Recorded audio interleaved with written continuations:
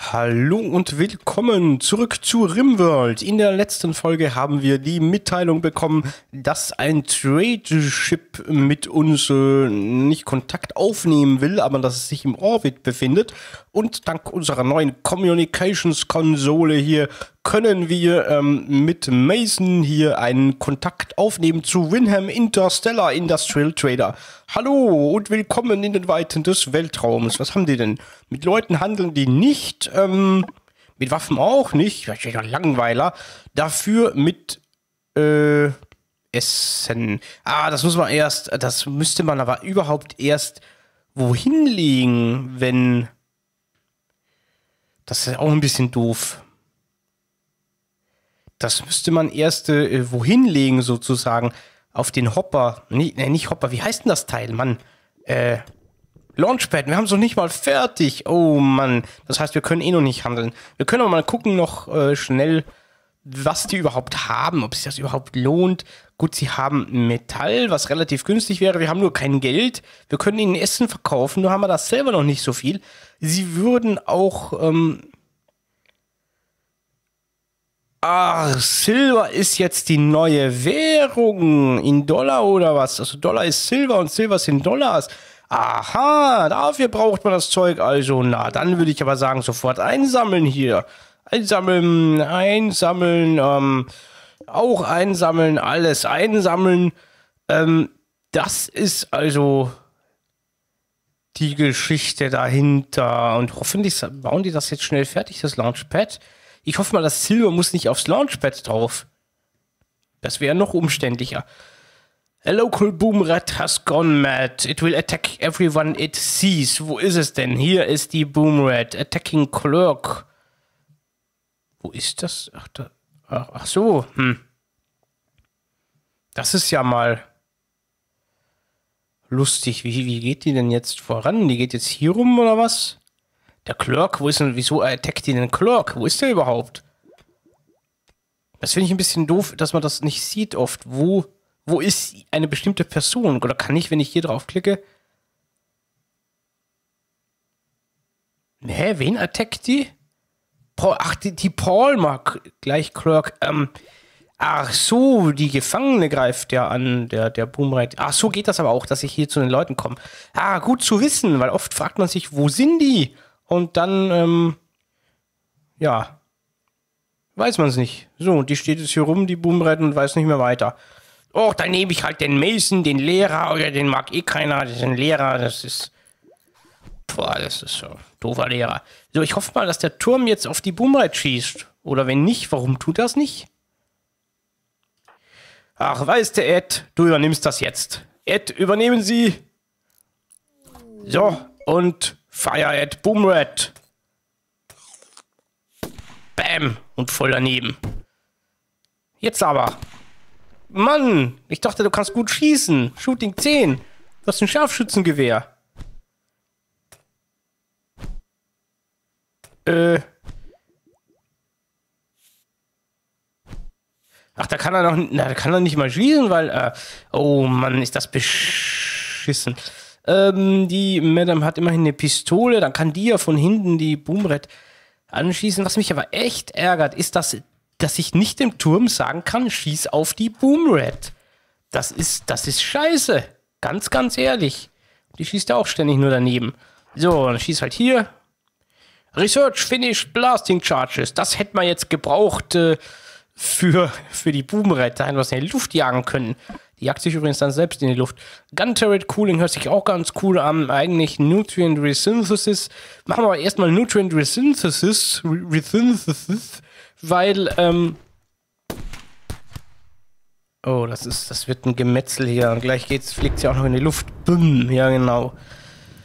So, Soldier Needs Break, das ist der Ad, der, der verkraftet das einfach nicht, dass er hier mit einer Boomride kämpfen muss. Ähm, das ist für einen Soldaten keine, keine richtige Aufgabe. So, Feuer löschen vielleicht auch mal. Hm? Ah ja, doch. Immerhin. Blut wegwischen, das macht dann der Wittels. Oh, ich wische dann mal ja die Tatortreiniger, hier muss ihn aufwischen. Ähm, das mit diesen Boomrats ist immer so eine Geschichte. Raiders have landed nearby. They will prepare for a while, then attack. Prepare a defense or attack them preemptively. Okay, und hier schon Launchpads come with the stockpile zones automatically designated on them to see to set what colonists will bring to the launchpad. Configure the stockpile and make a new one. Okay, na gut, gut. Okay, das ist quasi ein Stockpile in einem, aber das können wir jetzt gerade nicht wegklicken, weil die Raiders drüber sind. Und äh, wo sind sie? Da hinten, fünf gleich, alle fünf unverletzt, soweit ich das sehe. Molotov-Cocktails, Lee Enfield, Lee Enfield, Frag Grenades und Uzi. Da haben wir jetzt aber schon mit äh, einigen, da werden wir jetzt schon heftiger äh, damit zu tun haben. Und äh, ich habe da so eine Idee, welche wäre noch einen äh, Turm zu bauen, einen Verteidigungsturm. Den würde ich ganz gerne ähm, da reinbauen. Dann können die Leute nämlich immer hier hingehen. Also wenn jetzt, äh, wenn jetzt äh, dann Angriff erfolgt und äh, die Raider kommen von hier oben und werden sozusagen von den Türmen abgefangen. Machen wir das mal. Metall haben wir, glaube ich, genug. 160. Oh, nee, haben wir nicht. Reicht gerade nicht. Ich meine, wir können den trotzdem mal bauen. So.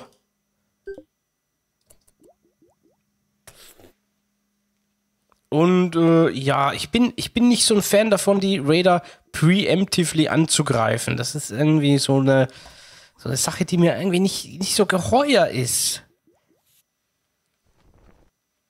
Ich frage mich da halt immer, ob das, äh, ob das dann nicht nach hinten losgehen könnte. Hm. Naja, Moment mal, ich mach mal kurz ein Päuschen.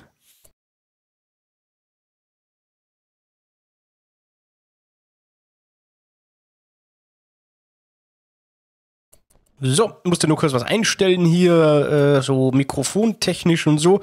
Ähm, ja, Jetzt bleibt eigentlich nur zu warten, weil ich, ich, will das, ich will das nicht riskieren, jetzt hier, vor allem nachdem der Ed ja auch ein bisschen verletzt ist, da jetzt äh, gegen die Leute, die ja doch ziemlich stark bewaffnet sind, so anzugehen. Da warte ich lieber noch ein bisschen und hoffe, dass der Turm rechtzeitig fertig wird. Und dass wir auch genug Metall dann dafür haben. Ich meine, hier ist immerhin noch Metall freigeschaltet worden. Hier aufs Launchpad ist, ah, genau, hier ist, hier ist die Stockpile-Zone drauf. Okay, ihr dürft aber Waffen hier drauflegen, zumindest die ähm, Pistolen. Corpses können wir sicher eh nicht handeln. Nutrient Paste, Meal, Manufactured Silver, Metal. Silver dürft ihr hier drauflegen, jawohl. Dann würde ich auch sagen, dass die hier kein Silber drauflegen sollen, sondern das Silber nur hier rein. Dann können wir das gleichzeitig als äh, Handelsware verwenden. Ich denke mal, dass das so funktioniert. So, die schlafen jetzt alle und heilen. Das lassen, das gönnen wir ihnen auch mal. Würde ich sagen. So. Oh, da greifen sie auch schon an. Au, Mist. Das ging aber schneller, als ich dachte. So, ihr seid jetzt alle Soldaten und liebe Soldaten, kommt und äh, positioniert euch hier. Nachdem das jetzt aber eh nicht fertig wird, können auch ein paar von euch, vor allem die besseren Schützen, der Ad zum Beispiel, hier oben hin. Wer kann noch gut schießen? Kurz mal checken. Construction 10, äh, Shooting 6, Shooting 10, der Ed, der hat Shooting 5 hier, Shooting 5 und der Mason hat Shooting 3. Ähm, der hat 5, der hat 10, der hat 6 und wird aber gleich auf 7 aufgegradet. Oder die ist ja eigentlich eine Frau, die Mason. Ja, dann geh du mal, dann geht ihr mal hier hin und die anderen halt hier unten hin. Jo, dann gucken wir mal. Bin ich mal gespannt, was uns hier jetzt erwartet. Blasting Charges wäre natürlich jetzt super gewesen, aber dafür hat es halt doch nicht gereicht. Unsere Türme werden hoffentlich hier volle Lotte drauf losballern. Jawohl, es läuft auch schon. Der Lawman ist schon gestunt. Ähm, und auch schon tot. Ähm, ich weiß nie so ganz, äh, ob ich die jetzt ausschalten soll oder wann ich die ausschalten soll, die Türme. Weil irgendwie... Hm. Die fallen dann meistens tot um. Die, die, die sind jetzt zum Beispiel sofort tot umgefallen. Man müsste sie aber eigentlich irgendwie auf, auf bewusstlos kriegen zuerst. Ich weiß, dass das mit Nahkampf gut funktioniert, aber bis da einer im Nahkampf nah genug dran ist, ich meine, bis dahin ist, ist die ja tot. Melee 10, Melee 7, Melee 7, Melee 3. Ja, wir können mal den Yoshi daran ähm, schicken. Und vielleicht, dass wir sie jetzt schon deaktivieren, die beiden Türme. Toggle Power. So. Und jetzt hoffen, dass, dass das klappt irgendwie. So, rescue a wounded colonist. Select a healthy and click. Wer sind jetzt? Ach, der Beatles. Ja, dann lassen wir hier den Mason mal rescue Beatles Technician. Ja, den kannst du mal abführen. Und äh, der Yoshi kriegt hier volle ab. So, mach mal Melee-Attacke und, und. Oh, oh, ähm, okay. Kommando zurück, wir machen die Türme doch wieder an, weil, äh, ja, irgendwie, das, das, äh, da hätte ich auch gerne von euch, falls ihr da Erfahrungen habt, ein paar äh, gute Tipps. Wie kriege ich das hin, dass ich die bewusstlos kriege und gefangen nehmen kann? Weil irgendwie ist mir das bisher noch nicht so richtig äh, gelungen. Ah, jetzt ballern sie wieder. Blub, blub, Raiders are fleeing und die, die werden wir jetzt nicht mehr einholen. Das ist halt gut. Ein verwöhntes Kind wollen wir jetzt ehrlich gesagt auch nicht. Auch wenn es eine gute Nahkämpferin ist. Äh, und der Yoshi, der muss gerettet werden. Natürlich werden wir dem sofort nachkommen. Rescue Yoshi Settler und äh, ja, die anderen können wir eigentlich nur noch begraben. Ist schade drum, aber was soll man machen? Wir brauchen auch neue Gräber, sehe ich gerade. Ähm, wo, ist, wo ist das schon wieder? Unter Buildings. Ja, weil Gräber ja immer so tolle Gebäude sind. Genau. So, dann machen wir hier unser Gräberfeld gleich mal ein bisschen weiter. Ähm, eine Cargo Unit ist äh, in unser Dings hineingedingst. Hier oben. Wow, das ist eine ganz schöne Menge. Ha, Essen, lecker. Ist nur drei Jahre im Orbit rumgekreist.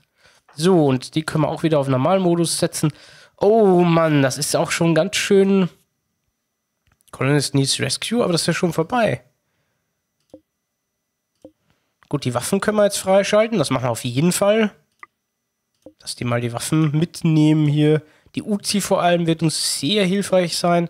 Die Molotov-Cocktails, da hat er auch gar nicht wirklich, ist er nicht dazu gekommen, mit denen was zu machen. Glücklicherweise, denn ich sehe gerade, dass unser Turm hier doch schon einiges abgekriegt hat. Hm.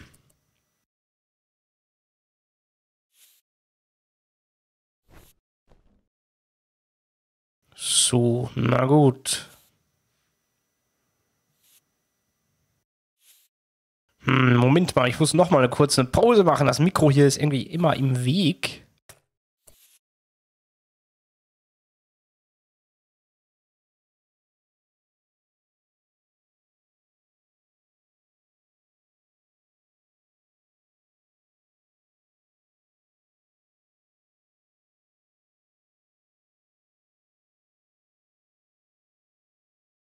So.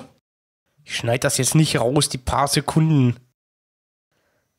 Normalerweise schneide ich sowas raus, wenn es länger ist, wenn ich länger irgendwie eine Pause machen muss, aus irgendeinem Grund, aber so jetzt eigentlich nicht unbedingt. Jo, in der Zwischenzeit könnt ihr ja mal einen Kommentar schreiben oder so. Jo, die schalten wir auch alle frei, damit die endlich unter der Erde kommen. Ja, wie mache ich das, dass ich die bewusstlos kriege? Weil irgendwie, ähm, ich komme ja nicht nah genug ran, um einen Melee-Angriff zu machen. Das ist, beziehungsweise es ist zu gefährlich. Der letzte Raider läuft ja dann meistens weg, den kriege ich dann sowieso nicht mehr, weil der ist ja jetzt genauso schnell wie meine Leute. Das, äh, ich meine, wie soll ich den einholen? Und die Türme abschalten ist schön und gut, aber in dem Fall hat es jetzt gar nichts gebracht. Ich habe irgendwie den Eindruck, dass in der letzten Version, in der 2.2.4 oder was das war, dass es da leichter war. Dass die irgendwie alle bewusstlos wurden, da hat man die Türme schon abgeschaltet, hat sie alle weggekarrt. Mag ja sein, dass sie das einfach ähm, geändert haben, weil es zu leicht war, auf die Weise zu schnell neue Leute zu kriegen. Und realistischerweise würde man ja die Raider auch nicht unbedingt so leicht gefangen nehmen. Die würden das ja nicht, nicht unbedingt so leicht zulassen. Denke ich mal. Aber vielleicht äh, irre ich mich da. So, die werden hier alle geheilt. Was machen die eigentlich? Ach, die sind immer noch auf Militärmodus. Ich habe das doch eigentlich abgeschaltet bei allen. Oder? Ja, jetzt mal was essen. Lecker essen. Hier ist auch wieder alles kaputt und keiner repariert was. Oh Mann. Immer dasselbe. Na gut, ich mache jetzt mal ein bisschen Turbo-Modus hier wieder. Low Metal ist hier leider. Ich hätte lieber Heavy Metal. Wenn schon Metal. Äh, und ja, und das mit dem Launchpad, okay, failed to recruit Palmer, kann man auch nichts machen. Der dritte Turm wird. Ach, jetzt geht er wieder schlafen oder was? Oh, ich mache jetzt noch mal drei Schräubchen, dann gehe ich ins Bett. Die letzte Schraube ziehe ich aber nicht mehr an. Madame Drone ist fully healed. Okay, das geht immerhin relativ schnell, so wie es aussieht. Der Weedless ist auch schon wieder einigermaßen auf den Beinen. Yoshi, ja. Aber es war schon knapp teilweise. Also war natürlich auch die Boomred schuld am Anfang. Was mich auch so ein bisschen ärgert, ist, dass man diese Boomred nicht einfach ähm, mit einem Geschützturm kaputt machen kann. Das finde ich ein bisschen doof, wenn ich ehrlich bin. So. Einmal so rüber und so und so. Das sollte dann eigentlich passen. Dass der auch mit Strom versorgt wird. Trading Ship Wineham Interstellar has left Communications Ranch und der Mason hat hier auf seinem Lehrertisch die Nutrient Resynthesis fertig erforscht. Nutrient Paste Dispensers consume 10% less food per meal produced, also 10% weniger Essen wird gebraucht pro Nahrungsmittel. Auf die Dauer summiert sich das natürlich. Man sagt ja so schön, Kleinvieh macht auch Mist ähm, und kleines Essen, kleine Häppchen machen auch satt. Gun Turret Cooling, Gun Turrets fire 4 shots, shots in a burst instead of 3. Das machen wir jetzt mal und dann als nächstes dann noch Carpet Making.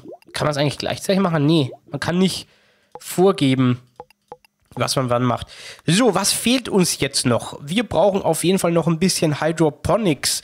Da habe ich mir ja gedacht, dass wir das vielleicht hier dann einbauen, dass wir hier ein Hydroponics-Dings äh, machen. Machen wir. Weedless Technician is no longer incapacitated. Sehr schön. Die anderen heilen hier noch ein bisschen. Und das räumt keiner weg. Das würde mich auch interessieren. Kriege ich das Zeug irgendwie weggeräumt? Vielleicht zu? Nee, es geht auch nicht. Weil ich habe ja eigentlich eingestellt hier Cleaning 1 beim Weedles. Er macht es nur nicht. Und das würde ich jetzt schon als Cleaning zählen. Von mir aus auch Hauling, aber auch das macht er nicht. Das finde ich ehrlich gesagt beschissen. Vielleicht kann mir jemand sagen, was ich da tun muss, damit das endlich wegkommt, hier dieses hässliche Zeug.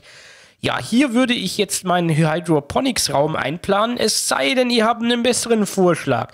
Und noch was, auch ein Vorschlag von euch, den ich noch nicht umgesetzt habe, hier irgendwo noch einen, einen weiteren Verteidigungsturm, vielleicht sogar zwei zu bauen, hier und hier, als zweite Verteidigungslinie. Dann können wir, wenn hier die Leute geschwächt sind, ähm, würde ich fast vorschlagen, dass man sich dann zurückzieht nach hinten. Dann greifen die Raider weiter die Türme an. Falls sie es schaffen, diese Türme hier außen kaputt zu machen, müssen sie erstmal durch die zweite Verteidigungslinie durch. Dann sind sie selber schon stark geschwächt, während unsere Leute sich hier verletzt ausruhen können. Ähm, weitere Vorschläge nehme ich sehr, sehr gerne entgegen.